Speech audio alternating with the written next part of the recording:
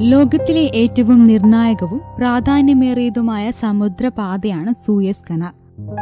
Egypt നെപ്പോളിയന്റെ കീഴിലായിരുന്ന കാലത്തായിരുന്നു കനാലിന്റെ നിർമ്മാണം ആരംഭിച്ചത്. നെപ്പോളിയന്റെ മൂന്നാമത്തെ പത്നിയും ഫ്രഞ്ച് ചക്രവർത്തിനിയുമായ യൂജിനാണ് ആയിരത്തി എണ്ണൂറ്റി അറുപത്തൊൻപത് നവംബർ പതിനേഴിന് സൂയസ് കനാൽ ഉദ്ഘാടനം ചെയ്തത്. ഫ്രഞ്ച് ആധിപത്യത്തിനു ശേഷം ഈജിപ്ത് ബ്രിട്ടീഷ് സാമ്രാജ്യത്തിന് കീഴിലായി. സുയസ് കനാലിന്റെ നിയന്ത്രണം ബ്രിട്ടീഷുകാർ ഏറ്റെടുത്തു.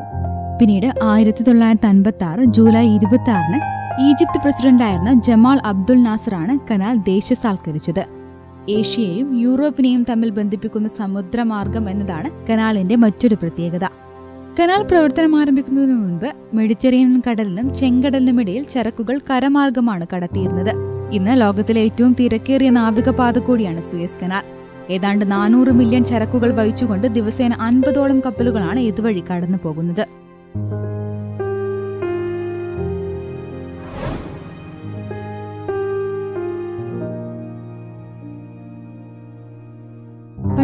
സിംഹം എന്നറിയപ്പെടുന്ന ഇന്ത്യൻ സ്വാതന്ത്ര്യ സമര സേനാനി ലാലാ ലജ്പത് റായ് അന്തരിച്ചിട്ട് ഇന്നേക്ക് തൊണ്ണൂറ്റൊന്ന് വർഷം പൂർത്തിയാകുന്നു.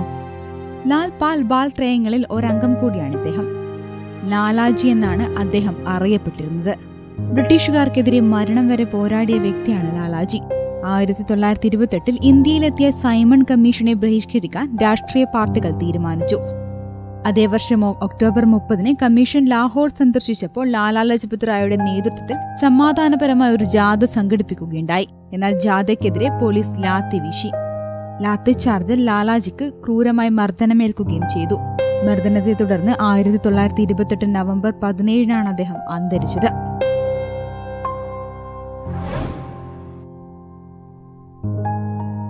റബ്ബർ ഗവേഷണ രംഗത്തെ ഏറ്റവും പ്രതിഭാശാലിയും ശാസ്ത്രജ്ഞനുമായിരുന്ന ബാലചന്ദ്ര ചക്കിങ്കൽ ശേഖറിന്റെ തൊണ്ണൂറാം ജന്മദിനമാണിന്ന്. മലേഷ്യയിലെ റബ്ബർ തോട്ടത്തിൽ ക്ലർക്കായി ജോലി ചെയ്യുന്ന അച്യുതശേഖരൻ നായരുടെയും സീതാലക്ഷ്മിയുടെയും മകനായി ആയിരത്തി തൊള്ളായിരത്തി ഇരുപത്തി നവംബർ പതിനേഴിനാണ് ശേഖർ ജനിച്ചത്. തന്റെ പത്തൊൻപതാം വയസ്സിൽ ഡൽഹി സർവകലാശാലയിൽ നിന്നും ശേഖർ രസതന്ത്രത്തിൽ ബിരുദം നേടി.